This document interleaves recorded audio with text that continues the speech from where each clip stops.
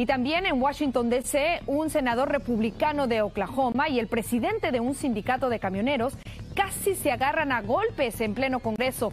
Esto sucedió en una audiencia cuando el senador leyó unos tweets de su rival en los que este lo invitaba a pelear. El senador le dijo que era el momento perfecto y lo retó. Vamos a resolver las diferencias a golpes en la sala. Mire, hasta se paró. De inmediato el senador Sanders intervino, evitando una batalla. Finalmente ambos acordaron arreglar sus problemas tomándose un cafecito. Me parece buena idea.